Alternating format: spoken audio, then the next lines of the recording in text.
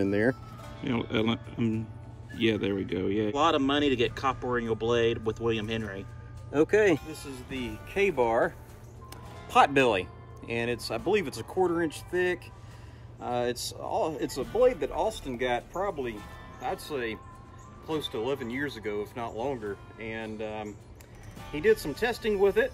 Basically, he just stuck it in a stump, and he did boom like that, uh -oh. and it was very easy to break that tip. And uh, so although it's a thick spine, I want you to come in and look at that hollow grind. The hollow grind is actually pretty thin. So, see that? Yep. It's shaving. It's cutting paper. Yes. So, safety glasses, and we'll see how it goes.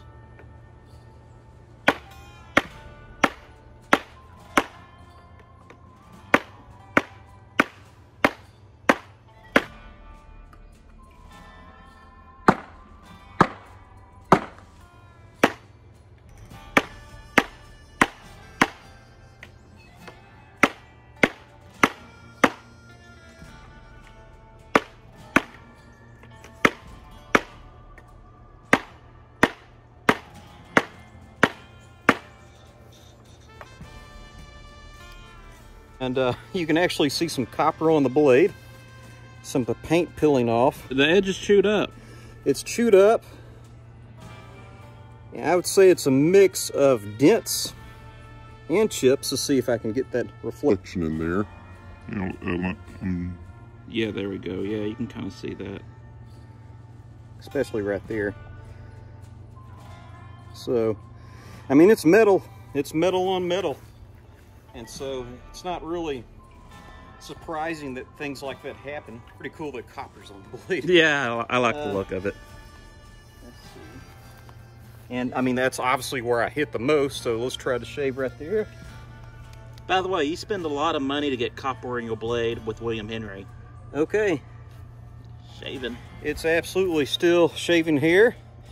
Uh, very much like the 4034 Kukri, although there is damage, it's still very functional. Okay, I'm to be a little bit generous. Uh, generous. I'm going to start out the cut here and then get it to go across that edge. Okay. So as long as we start out the cut down here and we go across the jagged edge, it's still cutting pretty good. But when you get on the jagged portion, except for that spot, it's having a little bit of problems going through. But that's not bad.